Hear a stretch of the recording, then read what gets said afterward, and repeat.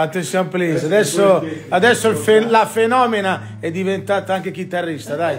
Dai, canta, dai.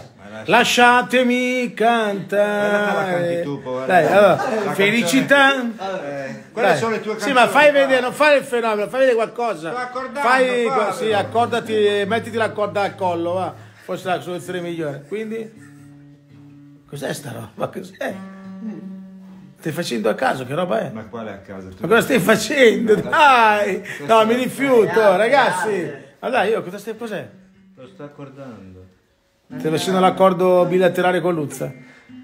Vedi che è scordata, questa è scordata, vedi? Sì, ascolta, secondo me ti sei scordato il tuo nome e la chitarra da tanti anni fa. Dai, povero!